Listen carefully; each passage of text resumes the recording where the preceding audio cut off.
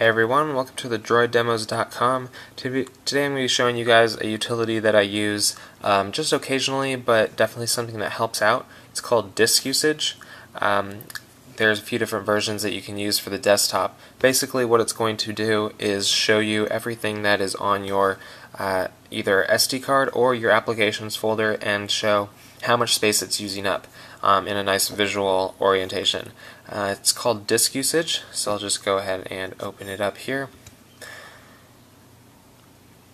And when you first open up the app, um, it's going to ask which you want to look at, app storage or storage card. So let's go ahead and look at app storage.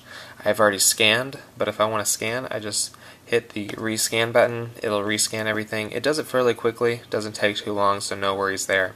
Then we have everything here, and it shows it by size, so I can see just what's taking up the most space.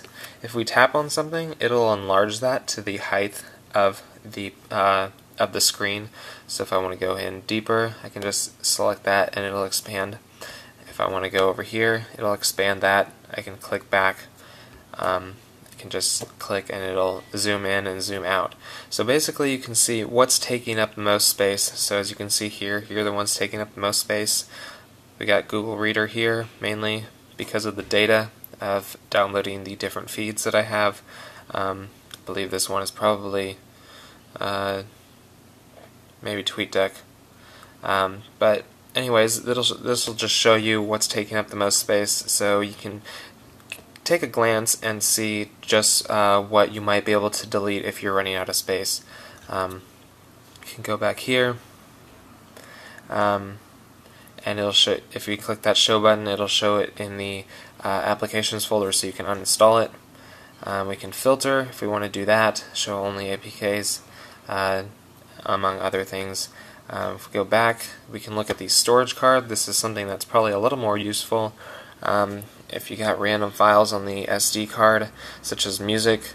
As you can see here, I can see that my backups from Clockwork Mod are taking up quite a bit of space, so I can expand that if I want to. And we see everything that's taken up here. Here we have the backups, any downloads that I have, and I can zoom in a little further if I want to do that. So I can delete things if I want to. Um, again, there's the show option. It's going to take you into the file manager, and you can delete it from there.